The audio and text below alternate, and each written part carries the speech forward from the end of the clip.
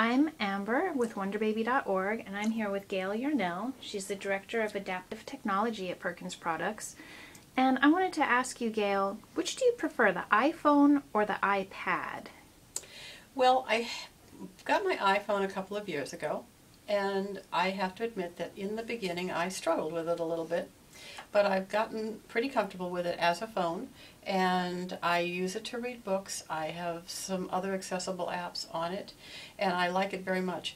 Recently, because of this, this huge craze of the iPad, I got one for work, and I have to admit that I like it. It's easy to use, but if I have ever have to be told I can only have one, I will have no trouble deciding that I want the iPhone because unless you can really use the large print features on the iPad, I think the iPhone has is much easier to use. It's much easier to learn your way around the screen.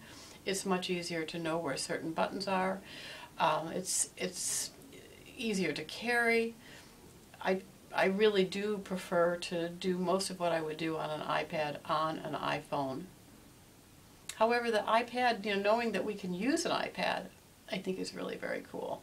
And mm-hmm. you know, who knows where the, where things are going to go in the future. But right now, if I had to pick one, I would certainly pick my phone. Mm-hmm.